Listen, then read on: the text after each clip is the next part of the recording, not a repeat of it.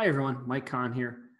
Uh, I want to do uh, kind of an introductory video for the drawing class. This is the online drawing class, uh, which is run through Wabash Valley College or Illinois Eastern Community Colleges.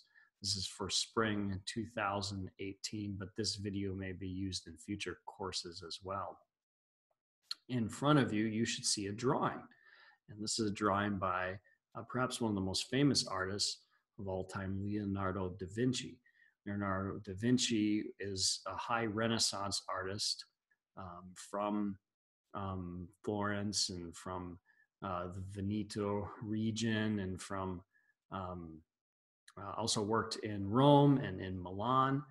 Um, but primarily, uh, Leonardo da Vinci is known for his paintings and a little less for his drawings.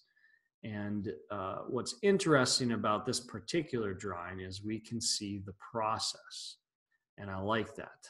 I like that we can see the process. Notice how part of the drawing is finished and part of it is unfinished. That's what I mean by process. And when you see a drawing that is process, especially from a master drawer, which Leonardo da Vinci was a master drawer, you can see how the, the drawing was built. So you're kind of seeing, uh, you know, like a set of directions or a methodology, if you will. And one thing about Renaissance drawings that I find fascinating is uh, number one, the uh, just beauty of the drawings. If we take time to look at this beauty, the composition of, of this drawing is very engaging. But the other thing that's wonderful about these drawings is the value range that you get that is built up through cross hatching. So if you look, you can see where there's shadow behind the hair, how some of the lines are darker and thicker than others, and some of the lines are very light.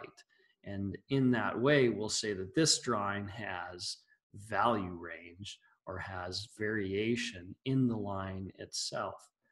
Um, I would say that Leonardo uh, focused on line and less on um, uh, like building up shading because the shading itself is built up through lines. What I mean by that is if you look at the shading, how it's built up is with these cross hatches, with these repeated lines. And Leonardo was left-handed, and you can see the method.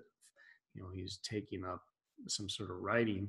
You you utensil. It wouldn't have been a pencil like a graphite pencil like we know. It's probably more of a piece of charcoal and sharpened, and then on this this paper, which has uh, yellowed over the the ages. So um, we can see the delicate nature of some of the lines and how certain areas were left open. There's a little bit of space to this drawing. So here we get have a great example of a master uh, artist, you know, utilizing line to build up value, to build to build up shape, and to compose a very beautiful drawing. Uh, a, a, thing to note in terms of history, you know, this is from the early 1500s, and at this time, these drawings were not considered as the same level as the paintings. They were often preparatory works for a painting. So an artist like Leonardo would practice, create a drawing, and then use that as a basis to um, compose or think or work through problems that would lead up to a painting. And the method of painting sometimes would be very much like a drawing where they would use small brushes and build up lines and then fill in and then use multiple washes to go over top. Anyway, in this class, we're going to learn about some of these various techniques and think about drawing in terms of line and shape and color and form and utilize some of the uh, past, um, some of the drawings from the past as an example of of how to move forward. Um, as with all the online classes at IECC, uh, if you want to contact me, you'll have to contact me through uh, email, conm at iecc.edu. I'm getting a little bit of glare reflection here. It's kind of burning my eyes. So I'm, I'm going to stop the, the, this video and probably start another one.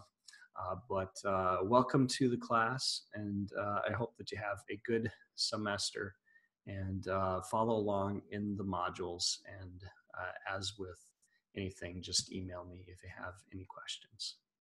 Thank you.